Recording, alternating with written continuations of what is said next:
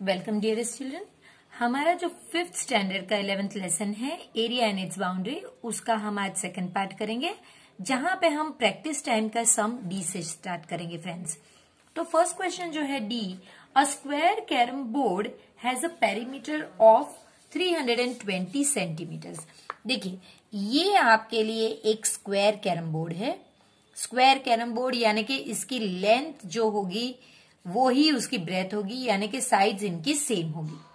इसका जो है पेरीमीटर पेरीमीटर यानी कि हम जानते हैं, ये बाउंड्री को हम पेरीमीटर कहेंगे फ्रेंड्स और जो फ्रेंड्स आज हमारे साथ जुड़े हुए हैं, वो प्लीज़ जाके पार्ट वन भी चेक कर लीजिए ताकि आपको बेहतर समझ में आए। तो ये जो पेरीमीटर है, ये आपका है 320 सेंटीमीटर तो आपको इसका एरिया जुड़ना है। तो फ्रेंड्स हमेशा हमें स्टार्ट कहाँ से करना चाहिए कि जो डेटा आपको दिया गया हो, वहाँ से। तो देखिए शेप क्या है इस फिगर का? तो वो हम लिखते हैं कि भाई इसका जो शेप है, वो है स्क्वायर फिर हम लिखेंगे कि भाई पेरीमीटर जो आपको दिया गया है तो पेरीमीटर ऑफ़ स्क्वायर आपको दे दिया गया है 320 सेंटीमीटर उसके बाद हमें और क्या चीज़ दी गई है? और कुछ भी नहीं आपको एरिया ढूंढना है।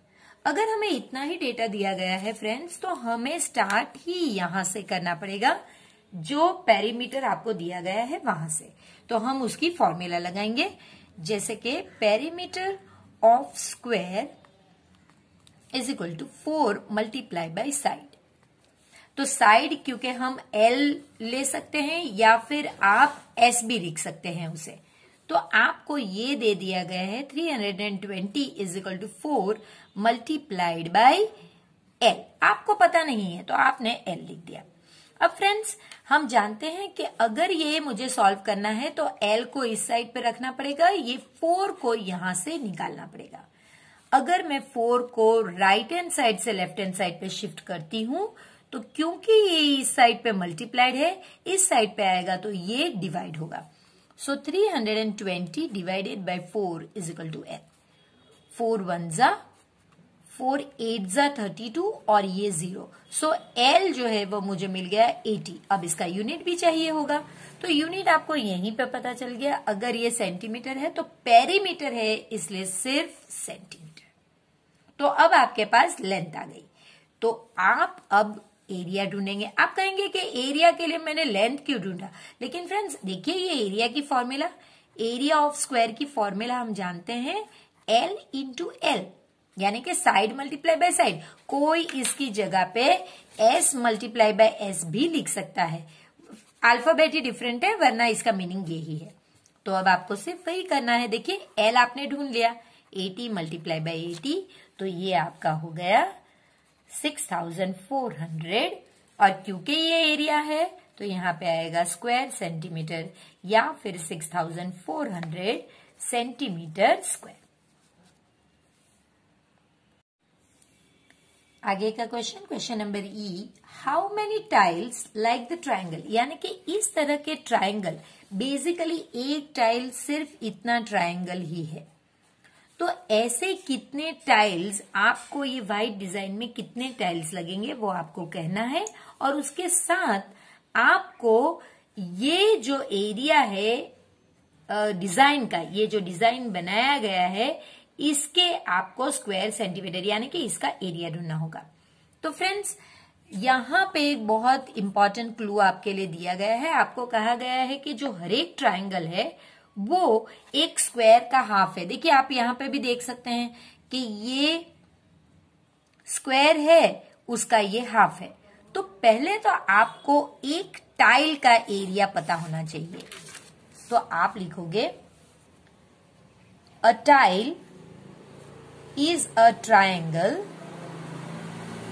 having area half of square.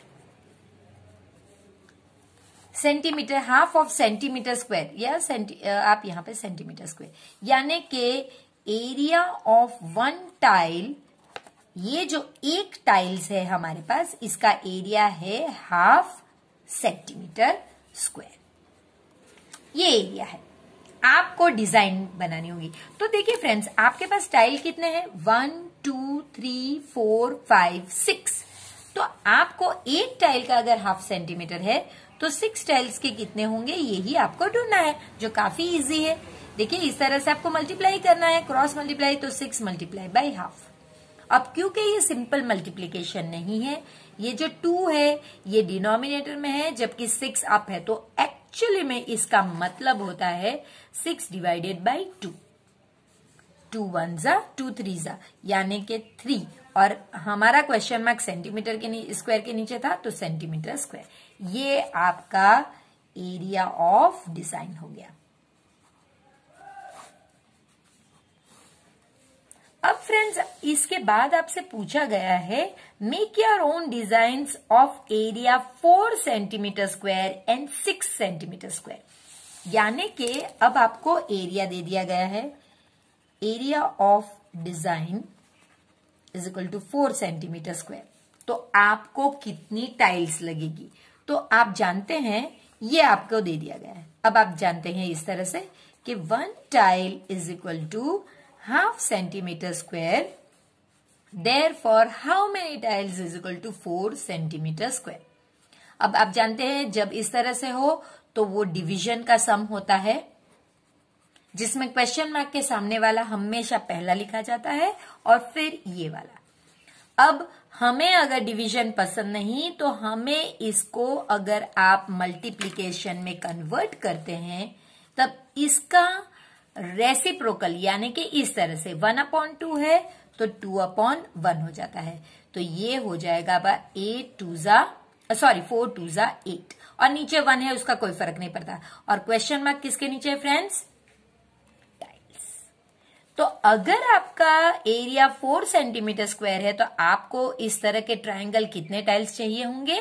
Eight triangles तो आप वो एट ट्राइंगल्स को कहीं भी साथ में कर सकते हैं, जैसे कि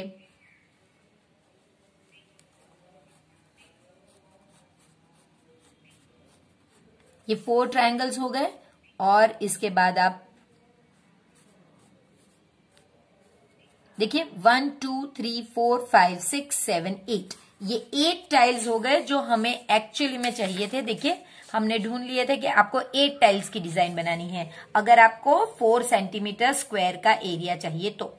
और अगर आपको सिक्स सेंटीमीटर का एरिया चाहिए तो उसके लिए भी आप वैसे ही करोगे। देखिए एरिया ऑफ़ डिज़ाइन आपको दे दिया गया है सिक्स सेंटीमीटर स्क्वायर अब आपको फिर से वहीं से स्टार्ट करना है. One tile is equal to half centimetre square for six centimetre square is equal to how many tiles ऊपर नीचे है तो डिवीज़न का सम होगा क्योंकि अगर हमें डिवीज़न डिवीज़न में आप कैंसिल नहीं कर सकते तो नेचुरली इस डिवीज़न को आपको मल्टीप्लीकेशन में कन्वर्ट करना होगा, तब इसका रेसिप्रोकल हो जाएगा टू अपॉन वन तो ये हो गया आपका, ऊपर ही आप मल्टीप्लाई कर सकते हैं कैंसिल नहीं कर सकते ट्वेल्व अपॉन वन का मतलब होता है ट्वेल्व और क्वेश्चन मार्क अगर आपका टाइल के नीचे है तो आपको टाइल लिखना होगा यहाँ यानी ट्वेल्व टाइल्स करोगे, तब आपका एरिया सिक्स सेंटीमीटर तो अब आप ट्वेल्व कैसे भी ले सकते हो? One, two, three, four, five, six, seven, eight, nine, ten, eleven और ट्वेल्व। देखिए, one, two, three, four, five, six, seven, eight, nine, ten, eleven, twelve. Twelve इस तरह से मैंने डिज़ाइन ले ली। आप अपने हिसाब से कोई भी ट्वेल्व ट्राइंगल्स लेके डिज़ाइन बना सकते हैं। फ्रेंड्स ये जो क्वेश्चन एफ़ है ये हमारे लिए बहुत ही इंपॉर्टेंट है। प्लीज़ इसे मार्क कर लीजिए और इसे हम सॉरी uh, आप वन टू थ्री फोर कर सकते हैं। इसमें आपको फोर सम सॉल्व करने हैं। चलिए सानिया आरुषि मानव और Kabir they are making greeting cards और आपको उनका जो डायमेंशन या जो भी डेटा आपको दिया गया है उस पे से जो बाकी है वो आपको ढूँढने हैं। अब देखिए फ्रेंड्स क्या होता है ना कि कभी कभी आपको कुछ डेटा दिए गए होते हैं दूसरों में नहीं दिए गए होते। तो बस आपको ये डेटा लिखना है जैसे कि सानिया। तो हम पहले सानिया का करेंगे और आप देखोगे कि ये कैसे किया जाता है। तो सा, सानिया में आप लिखोगे कि यहाँ पे लेंथ उसकी 10 सेंटीमीटर है। देखिए लेंथ 10 सेंटीमीटर है। विथ उसका 8 सेंटीमीटर है। आपको ढूंढना है पेरीमीटर और साथ में आपको एरिया भी ढूंढना है। तो वही डेटा आपको लिखना है कि पेरीमीटर आपको ढूंढना है और एरिया भी आपको ढूंढना है। अब मैं फिगर कर रही हूँ। आप फिगर ना करें तो ये आप पे है। लेकिन मैं रेकमेंड करूँगी कि प्लीज़ हमेशा फिगर बनाइए। एट सेंटीमीटर देखिए लेंथ आपका टेन सेंटीमीटर है और विथ आपकी विथ या ब्रेथ दोनों एक ही होता है। आपको ये करना है। पहली चीज़ करेंगे, क्योंकि ये रेक्टेंगल है, हम पेरीमीटर के लिए रेक्टेंगल की फॉर्मूला लगाएँगे। Perimeter of rectangle is equal to two multiply by length plus breadth that is equal to two multiply by length हमारी है टेन प्लस एट हमेशा पहले आपको ब्रैकेट सॉल्व करनी होती है तो ये ऐसे ही रहेगा और ये एटीन तो ये हो गया आपका थर्टी सिक्स और क्योंकि ये पेरीमीटर है सिंपल थर्टी सिक्स सेंटीमीटर इसके बाद सो ये आंसर आपका आ गया. आप इसे चाहे तो यहाँ पे लिख सकते हैं 36 सेंटीमीटर जो आपको मिल गया, वो आप क्वेश्चन मार्क के बाद में लिख दीजिए ताकि आपको पता चले कि आपने इसे सॉल्व कर लिया है। अब आप करोगे एरिया सो so, एरिया भी आपको सिर्फ़ रेक्टेंगल की फॉर्मूला ही लगानी होती है लेंथ इंटू ब्रेथ तो लेंथ आपका टेन है ब्रेथ आपका एट है यानी कि एटी क्योंकि ये एरिया है आप यहाँ पे स्क्वायर सेंटीमीटर लिखोगे या फिर 80 सेंटीमीटर स्क्वायर लिखोगे.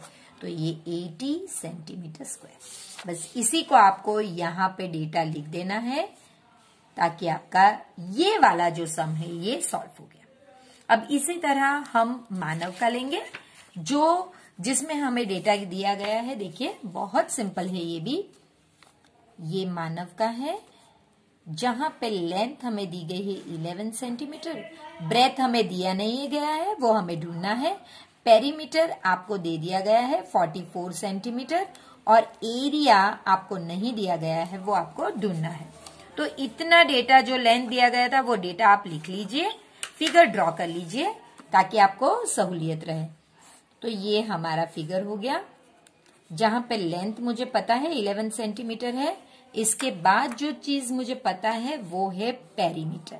पेरीमीटर अगेन हम एक बार देख लेते हैं कि ये जो बाउंड्री या बॉर्डर जिसे हम कहते हैं, ये हमारा पेरीमीटर है और ये 44 सेंटीमीटर है। तो फ्रेंड्स जब इस तरह का डेटा कुछ हो और आपको ब्रेड ढूंढनी हो तो आपको स्टार्ट यहीं से करना होगा, क्योंकि इसका डेटा भी है और हमारे पास इसकी फॉर्मूला भी है। तो चलिए, आप लिखोगे perimeter of rectangle that is equal to two multiply by length plus breadth ये आपको ऑलरेडी 44 दे दिया गया है तो इसके नीचे सिर्फ़ आप 44 लिखिए।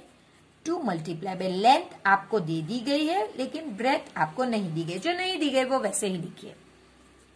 इसमें एक रूल होता है सॉल्व करने का, वही आप करिए प्लीज़ कि यहाँ पे पहले आप मल्टीप्लीकेशन वाले इस नंबर को निकालिए तो वो अगर इस साइड पे मल्टीप्लाइड है तो इस साइड पे वो डिवाइड होगा, और अब आपकी सिर्फ़ इतना पोर्शन रह जाता है। अगर इतना ही पोर्शन रहता है तो ब्रैकेट लिखने की ज़रूरत नहीं है। टू वन जा, टू टू जा, टू वन जा, टू टू जा। सो आपका आंसर है twenty two is equal to eleven plus B अब आपको शिफ्ट करना होगा इलेवन को। जो इस साइड पे एडेड है तो left left hand side is equal to के लेफ़्ट हैंड साइड पे वो सपरेक्ट होगा। ट्वेंटी टू को आपने कुछ नहीं किया है तो वो वैसा ही रहेगा। साइन सिर्फ़ इसकी चेंज होगी। इसके आगे इसकी साइन होती है, जो नहीं है तो प्लस है। इलेवन इज़ इक्वल टू यानी कि अब मैं सिंपल लिख रही हूँ B is equal to twenty two minus eleven यानी कि इलेवन अब ये ब्रेथ है या विथ है तो वो हमेशा सिंगल यूनिट होगा, यानी सिर्फ़ सेंटीमीटर तो आपने ब्रेड ढूंढ लिया है इलेवन सेंटीमीटर अब जब आप 11 सेंटीमीटर देखते हो तो दोनों ही अगर लेंथ और ब्रेथ दोनों ही 11 है तो इसका मतलब समझ जाना चाहिए कि ये फिगर एक स्क्वायर है। क्योंकि हमने रफ फिगर ड्रॉ किया, इसके तो मार्क्स होते नहीं है। तो जब आपने स्टार्ट किया था तो नेचुरली आपको पता नहीं था तो वो आप ले सकते हैं। अब हम, क्योंकि हमने ऑलरेडी इसमें पेरीमीटर ढूंढ लिया है लेंथ और ब्रेथ ढूंढ लिए हैं, हमारे पास दोनों आ गए। हम यहाँ पे अब इसके बाद का जो है, वो सॉल्व कर सकते हैं एरिया तो आप लिखोगे area is equal to area of अब आपको पता चल गया कि ये स्क्वायर है। तो आप वो भी लिख सकते हैं area of square is equal to side multiply by side या फिर लेंथ मल्टीप्लाई बाय लेंथ वो सेम ही रहता है। और अगर आपने रेक्टेंगल करके लेंथ इंटू ब्रेथ लिखा, तब भी वो सेम ही होगा फ्रेंड्स क्योंकि 11 multiply by eleven that is equal to 121 और क्योंकि ये एरिया है तो यहाँ पे आएगा सेंटीमीटर स्क्वायर तो हमने इसका डेटा यहाँ पे लिख लिया है, जो हमें मिला है वो दोनों चीज़। अब हम आरोशी का देखेंगे, जहाँ पे हमें लेंथ पता नहीं है विथ आपका एट सेंटीमीटर है पेरीमीटर आपको पता नहीं, और एरिया आपको दिया गया है 80 सेंटीमीटर स्क्वायर तो आप वही लिखेंगे फ्रेंड्स आरुषि, यहाँ पे लेंथ आपको दिया नहीं गया है ब्रेथ आपको दे दिया गया है, और वो है एट सेंटीमीटर फिर आपको पेरीमीटर नहीं दिया गया है और यहाँ पे आपको क्वेश्चन मार्क लगाना है। चलेगा स्टार्टिंग में तो कि भाई ये आ, मेरा रेक्टेंगल है या स्क्वायर तो मैं अभी फ़िलहाल रेक्टेंगल लगा लेती हूँ जहाँ पे लेंथ मुझे पता नहीं ब्रेथ मेरी एट सेंटीमीटर है और पेरीमीटर मुझे पता नहीं लेकिन एरिया जो है एरिया हमेशा अंदर की बात होती है ये वाला तो ये आपका 80 सेंटीमीटर स्क्वायर है। अब हमारे पास लास्ट सम में पेरीमीटर था तो हमने उसकी फॉर्मूला ली थी। अब ये डेटा अगर आपको दिया गया है, आपको इसकी फॉर्मूला लेनी होगी। So area of rectangle is equal to length into breadth अब ये आपको दे दिया गया है एटी तो इसके नीचे आप एटी लिखिए। लेंथ आपको नहीं दी गई है और ब्रेथ आपको एट दिया गया है। मैं हमेशा कहती हूँ कि ये जो अननोन है, ये यही रहेगा, ये अपनी जगह शिफ्ट करेगा। तो ये अगर मल्टीप्लाइड होए राइट हैंड साइड पे तो लेफ़्ट हैंड साइड पे इज़ इक्वल टू की लेफ़्ट हैंड साइड पे आने पे वो डिवाइड हो जाएगा। और यहाँ सिर्फ़ एल रह जाएगा। एट वन सा एट टेन जा therefore L is equal to ten क्योंकि ये लेंथ है, ये सिर्फ़ सेंटीमीटर होगी। अगर आपको ये मिल गई तो आप जाके यहाँ पे लिख सकते हैं टेन सेंटीमीटर अब आपके पास लेंथ और ब्रेथ दोनों है तो आप पेरीमीटर सिंपल ढूंढ सकते हैं। तो आप उसकी फॉर्मूला लगा दीजिए। Perimeter of rectangle that is equal to two multiply by length plus breadth हमने लेंथ अभी ढूंढी है टेन और ब्रेथ हमें ऑलरेडी दी गई थी। सो टू मल्टीप्लाई बाय ये पहले सॉल्व करेंगे eighteen so that is equal to thirty six और क्योंकि ये पेरीमीटर है सिंपल तो सिर्फ़ सेंटीमीटर थर्टी सिक्स सेंटीमीटर अब यही चीज़ हम अपने टेबल में लिख लेंगे। ये जो फोर्थ सम है फ्रेंड्स ये काफ़ी इंटरेस्टिंग है और इसमें एक नोट आप ज़रूर डालिए कि ये एक स्क्वायर है। क्योंकि आपको दो अननोन ढूंढना इस क्लास में पॉसिबल नहीं है, क्योंकि वो एक्सप्लेन नहीं किया गया है। तो आपको एक अननोन आप ढूंढ सकते हैं, इसलिए ये फिगर एक स्क्वायर है, ये प्लीज़ आप लिख लीजिए। अब इसके बाद हमारे पास डेटा क्या है कि कबीर के लेंथ और विथ आपको पता नहीं। एक्चुअली ये दोनों सेम आनी चाहिए, तभी हमारा स्क्वायर होगा। पेरीमीटर आपको 40 सेंटीमीटर दे दिया गया है और आपको जो एरिया है वो दे दिया गया है। तो चलिए हम डेटा लिख लेते हैं पहले। चलिए, हमारा डेटा कुछ इस तरह से है। लेंथ और ब्रेथ आपको दिया नहीं गया है, लेकिन ये अगर स्क्वायर है तो ये दोनों सेम आने चाहिए। यानी कि एक अगर मिल गया आपको तो दूसरा आपको ढूँढने की ज़रूरत नहीं है। तो अगर आप इस तरह से स्क्वायर ड्रॉ करते हैं तो इसका जो पेरीमीटर है, यानी कि इस तरह की जो बॉर्डर आपको दी गई है बॉर्डर का आंसर आपका 40 है। चलिए यहाँ से ही शुरू करते हैं। पेरीमीटर ऑफ़ फिगर या फिर स्क्वायर आप कोई भी लिख सकते हैं। Perimeter of square is equal to four multiply by S तो आप लिख सकते हैं कि भाई forty is equal to four multiply by S अब आप देखिए forty divided by four will be S ये आपको यहाँ से निकालना है, क्योंकि अननोन एस है। तो फोर्टी फोर इस साइड पे मल्टीप्लाइड है, इस साइड पे डिवाइड होगा। फोर वन जा फोर टेन जा तो आपको साइड मिल गई टेन सेंटीमीटर साइड यानी के फ्रेंड्स जो लेंथ हमने कहा है, जो ब्रेथ है, और साइड सब एक ही है। तो यहाँ पे जाके आप 10 सेंटीमीटर और टेन सेंटीमीटर लिख सकते हैं। लेकिन, क्या ये एरिया को सॉल्व करने पर भी यही चीज़ आती? तो चलिए चेक करते हैं कि area of square is equal to hundred sorry S multiply by S यानी साइड मल्टीप्लाई बाय साइड ये आपको हंड्रेड दिया गया है एस मल्टीप्लाई बाय अब क्या हंड्रेड के कोई ऐसे फैक्टर है जो सेम हो? तो बिल्कुल है फ्रेंड्स वो है हमारे ten multiply by ten that is equal to S multiply by S अब आप देख सकते हैं कि आपको दो ऐसे नंबर चाहिए जो मल्टीप्लाई करने पर इस तरह से हो। Therefore S is equal to और ये, क्योंकि हम एस ढूंढ रहे हैं तो यहाँ पे सेंटीमीटर हम एरिया नहीं ढूंढ रहे. एरिया तो ऑलरेडी हमें दिया गया हम एस ढूंढ रहे तो देखिए, आप दोनों ही चीज़ सॉल्व करेंगे तो आपको लेंथ और ब्रेथ यानी जो सेम ही है, वो मिल जाएगी। इसके बाद जो है फ्रेंड्स इसमें आपसे कहा गया है कि आपको एक थिक पेपर शीट लेनी है जो 14 सेंटीमीटर की लेंथ हो और 9 सेंटीमीटर की विथ हो। यानी कि अगर हम इसे ड्रॉ करने की कोशिश करें तो 14 यहाँ पे हमें लिखना होगा। ये हमारी विथ 14 सेंटीमीटर लेंथ 14 सेंटीमीटर और विथ जो है या ब्रेथ जो है ये 9 सेंटीमीटर हो।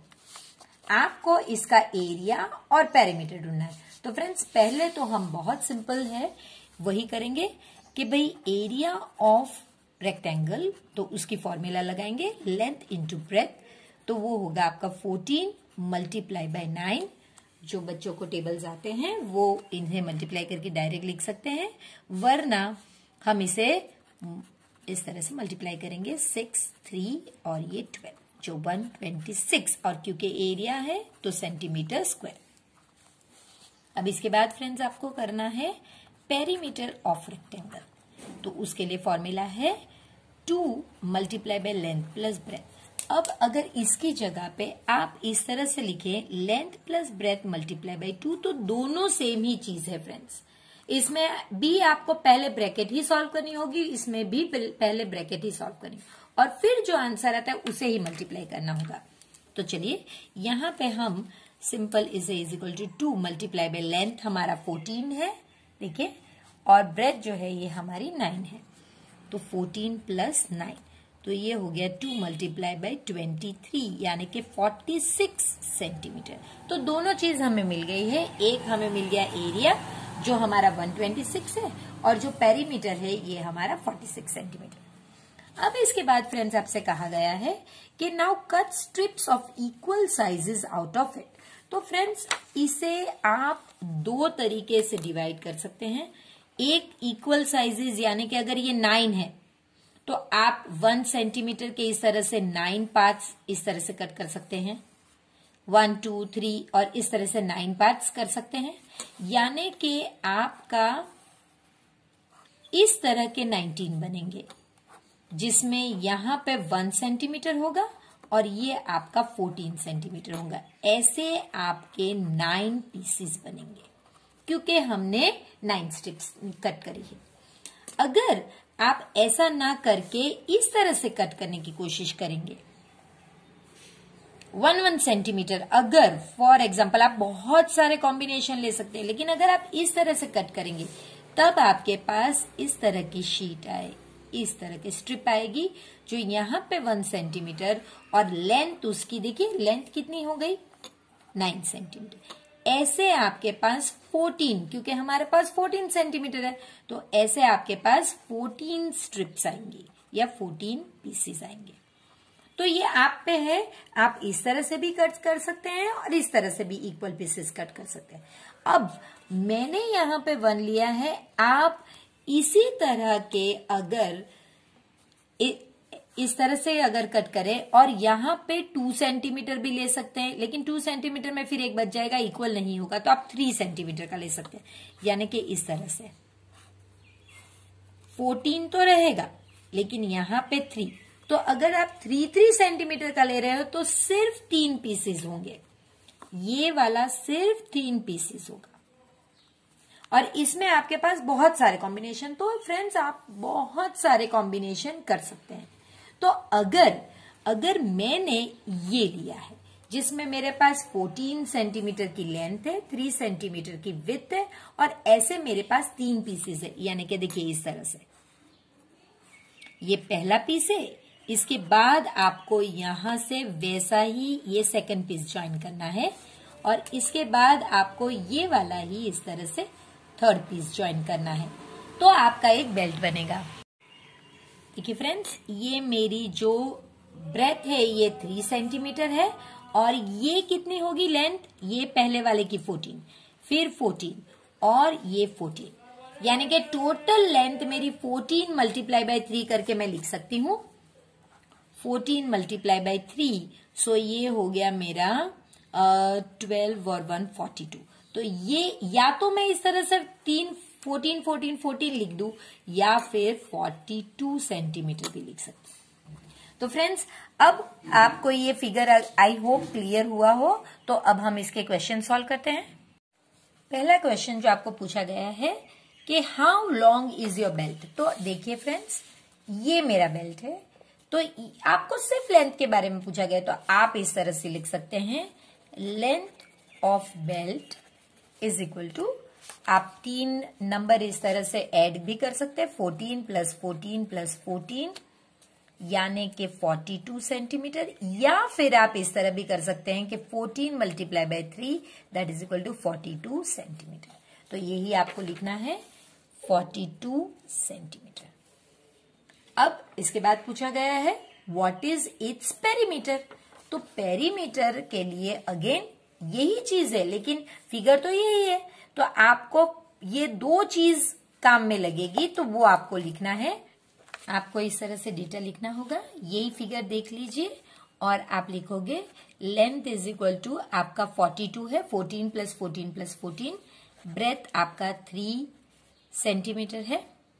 फिर पेरीमीटर की आपको फॉर्मूला ही लगानी है friends so perimeter of figure या फिर पेरीमीटर ऑफ़ स्ट्रिप या फिर पेरीमीटर ऑफ़ बेल्ट आप कुछ भी लिख सकते हैं। Two multiply by length plus breadth formula compulsory होती है।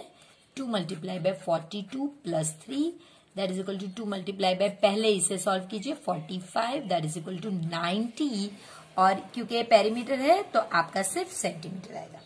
तो ये आंसर आपको लिख लेना है, यहाँ पे 90 centimetre whose belt is the longest friends अब ये बहुत इंपॉर्टेंट है कि किसका बेल्ट बड़ा होगा। फ्रेंड्स ये अगर मैं लेती तो देखिए 14 इंटू नाइन तो ये देखिए 14 multiply by nine nine four जा ऑलरेडी ये चीज़ हम यहाँ पे कर चुके हैं, लेकिन हम फिर से कर रहे हैं कि 14 मल्टीप्लाई बाय नाइन यानी कि 126 तो ऐसा भी बनता कि अगर मैं सिर्फ़ वन सेंटीमीटर वाला लेती, तब मेरी लेंथ 126 होती और मेरा पेरीमीटर और भी बड़ा होता। So whose belt is the longest in the class तो आप अपने फ्रेंड्स के साथ डिस्कस कीजिए और अगर आपके कोई फ्रेंड्स ने इस तरह का वन सेंटीमीटर का लिया है तो उसका लॉन्गेस्ट होगा। उससे कम भी ले सकते हैं फ्रेंड्स मैंने जैसे आपसे कहा, बहुत सारे कॉम्बिनेशन है, लेकिन इस क्लास में हमारे पास कुछ लिमिटेशंस होती है तो उस हिसाब से वन सेंटीमीटर वाले का होगा। इसके बाद, अगर इस तरह के किया हुआ है तो उसमें भी फ्रेंड्स बहुत सारे ऑप्शंस है। Why did some of your friends get longer belts than others because the strips were thinner जितनी पतली स्ट्रिप होगी, उतना ही उनका लेंथ ज़्यादा होगा So, their strips were thinner. Is the area of your belt the same as the area of your postcard? तो चलिए friends अब हम जहाँ पे हमने पेरीमीटर ढूंढा है, वहीं हम एरिया भी ढूंढ लेते हैं तो अब हमारे पास डेटा ऑलरेडी है, ये मेरी स्ट्रिप के बारे में है तो एरिया ऑफ़ स्ट्रिप या बेल्ट आप कुछ भी लिख सकते हैं length into breadth that is equal to forty two into three so forty two into three six और one twenty six one twenty six centimetre square अगर आप याद करें फ्रेंड्स तो जो ओरिजिनल हमने डेटा ढूंढा था, देखिए, ये आपका ओरिजिनल है, इसमें 126 ही है। तो एरिया कभी भी अलग नहीं हो सकता पेरीमीटर अलग हो सकता है। यहाँ पे 46 है, मेरा आंसर 90 आया, मेरे बेल्ट का। ये अलग हो सकता है, लेकिन एरिया कभी भी चेंज नहीं होगा, क्योंकि हम बेल्ट को पेपर से ही कट कर रहे हैं। तो आप लिखोगे, yes, my belt has the same area as that of the postcard because the strips were a part of the postcard. What will you do to get a longer belt next time? तो इसके लिए हम लिखेंगे cut the strips thin as thin as possible जितना आप पतला करोगे, उतना ही आपके लिए आपका बेल्ट लंबा बनेगा। और इसके लिए इन्होंने एक एक्टिविटी यहाँ पे दी भी है कि आप इस तरह का बेल्ट बगैर उसे ज्वाइन यहाँ पे तो हमें ज्वाइन भी करना पड़ेगा। ये लड़के ने ज्वाइन किए बगैर ही इस तरह से कट किया है कि आप उसको बगैर ज्वाइन किए भी अपने आप के अराउंड पहन सकते हैं। तो वो आंसर के लिए आप कहा देखोगे?